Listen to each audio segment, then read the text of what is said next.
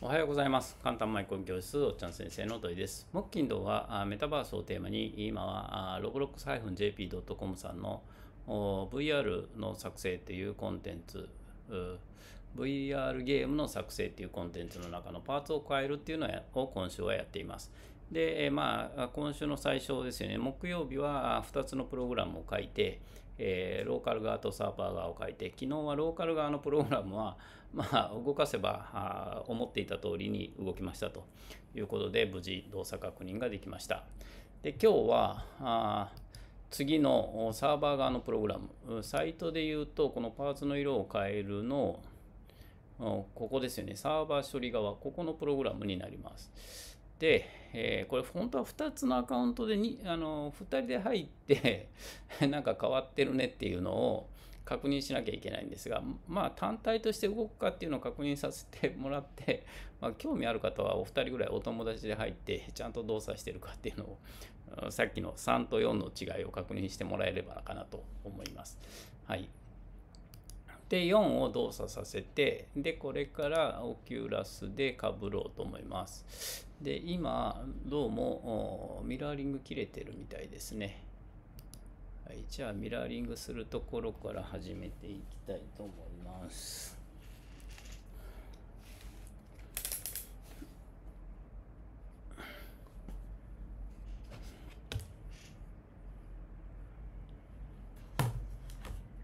まずはミラーリングですね。ロブロックスが動いてるんですが、動かしながらミラーリングうまく動くかな。あ、来たみたいですね。はい、もうロブロックスが動いていて、はい、ミラーリング完了しました。でロボロックスに戻ると。で4が見えてますね。で4に入ってみます、まあ、動きとしては3も4も同じ動きなので色が変わらなければっていう感じですね。でちょっと回り込んでうん、色は変わっています。で、プログラムは変わっているんですが、何が変わっているかっていうのが、ちょっと分かりにくいですね。コンソールで分かりますかね？いや、設定の中でした。設定の中のずっとメニューを動かして、詳細設定のコンソール。インプットチェック。なんかサーバー側でメッセージ出るように書けばいいのかもしれません。まあでもとにかく動いていますね。サーバー側が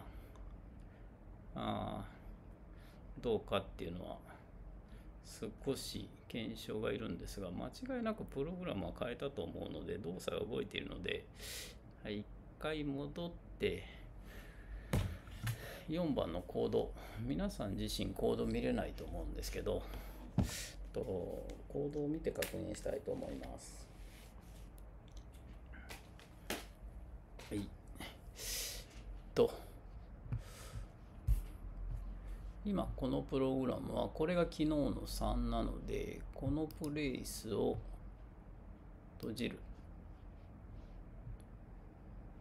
で今動かしたのはこの4なのであもしかするとローカルのプログラムが残っているかもしれませんよね。あそれはそれでいいのかな。スタータープレイヤースクリプト。このスクリプトがこうなっていってちゃんとここで色を変えるっていうロジックにならずにイベントを呼び出して色が変わっているのでちゃんと違う別のプログラム動作が同じプログラムなのであれなんですけどここにイベントがあってでサーバースクリプトサービスの中にこれで呼び出されるイベントが書かれていてこのスクリプトがこれになってていてここで色を変えるっていうイベントを起こしているんですよね。多分引数としてプレイヤーとパーツとプロパティを持ってきてそれを渡すプログラムがこれになっていて、まあ、自動的にプレイヤーは渡されてでこのパーツとこれがプロパティになるのかな。チェンジイベント。これですね。これは作っただけで名前を定義しただけで中身は何も定義していないのででこれで、えー、ファンクション、うん、オンサーバーイベント。このプレイヤーは自動的に渡されることになってるんですかね。誰が呼び出したかって分からずに動くわけにもいかないと思うので。でこれでパーツを取ってきてで for name value in、うん、プロパティの中からバリューを引き出してであな名前とバリューを引き出してこれを法文で書いているので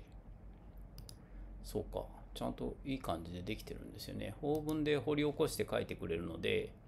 ここで、えー、1つだったら1つなんですよね。だこれで、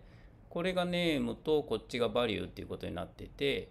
で、これをカッコで、えー、カンマで区切って、いくつもプロパティを渡すと複数個渡せると。確か解説にそう書いてあって、ここでカラーランダムだけなんですが、うーんと、ここか。アンカードをフェイルにするとこれでちゃんと押しますよっていうふうになっているので、